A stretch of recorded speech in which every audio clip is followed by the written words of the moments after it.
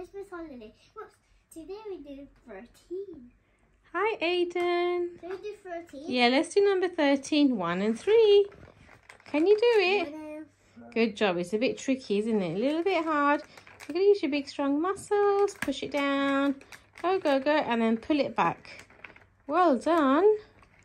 You almost done it. Hi, Aidan. Wow, well done. What have we got for number 13? Oh, this is a cool one. Have you had this one before? No. No. Do you know what this one is called? Let me see. Let you see. Where should we put it on our map? Where should we put it? In the sea. In oh, it's gone with the sea uh, with the animals in the jungle. That's so you can put all the all of them back as well. Oh, well done. That's great. Yay! Wow.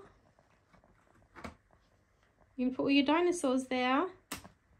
Thanks for watching our videos, guys. Please, help me Helping quicker one of my videos. please tap the like button and click one of my videos.